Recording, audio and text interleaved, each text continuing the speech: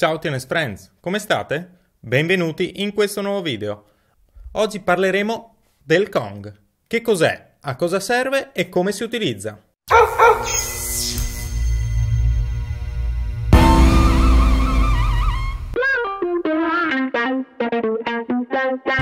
Come abbiamo già visto in un altro video che trovi qua sopra su come prevenire le distruzioni in casa, questo Kong è un gioco che possiamo lasciare tranquillamente al nostro cane anche tutto il giorno, a differenza degli altri giochi che abbiamo visto. Questo perché? perché è fatto di un materiale praticamente indistruttibile. Quindi anche per cani con una mascella molto forte non riusciranno a distruggerlo perché è veramente indistruttibile. In più eventualmente in questi casi, ve lo dico subito, c'è anche la versione in nera, quindi ancora più resistente. Ma soprattutto perché possiamo lasciarlo ai nostri cani?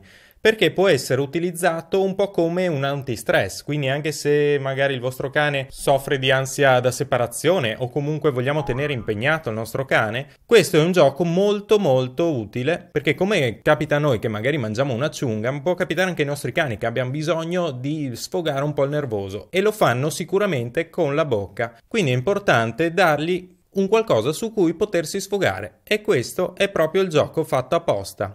Ma come si utilizza?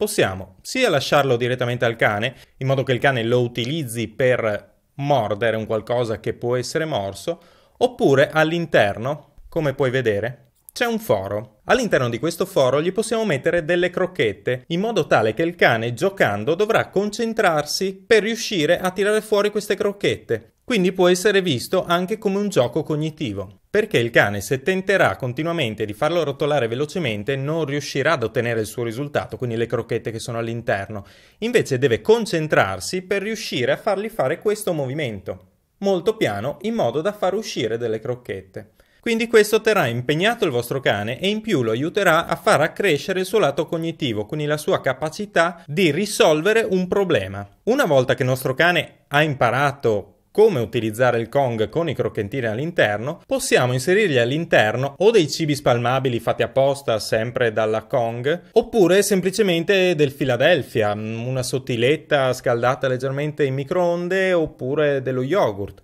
Glielo spalmiamo all'interno e gli inseriamo magari anche dei bocconcini. In questo caso lo stesso gioco di prima, quindi quello di farlo rotolare per far uscire il cibo, non funzionerà e dovrà trovare un'altra soluzione quale sarà questa soluzione? Intanto imparare a tenerlo fermo con le zampette.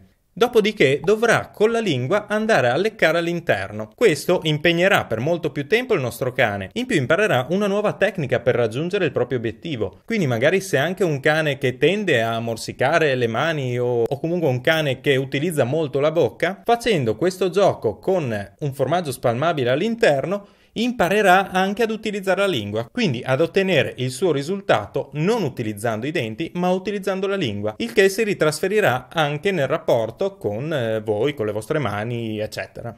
Parlo del Kong perché è il marchio più diffuso, mm, quello che l'ha introdotto, ed è un materiale veramente resistente e l'ho provato in prima persona, quindi posso assicurarvi che funziona veramente alla grande. Adesso ci sono altre marche che propongono degli oggetti simili. Eventualmente ne parleremo in un altro video. Per oggi è tutto, se questo video ti è piaciuto non ti resta che mettere un bel mi piace, condividilo, commenta sotto dicendoci cosa ne pensi se anche tu lo utilizzi e soprattutto di cosa vorresti che noi parlassimo e soprattutto iscriviti al canale e accendi la campanella per rimanere sempre aggiornato sui nuovi video. Detto questo chiamo la Springhi per il salutino. Ed eccoci qua, un saluto da Tiz e Spring di tnsproject.com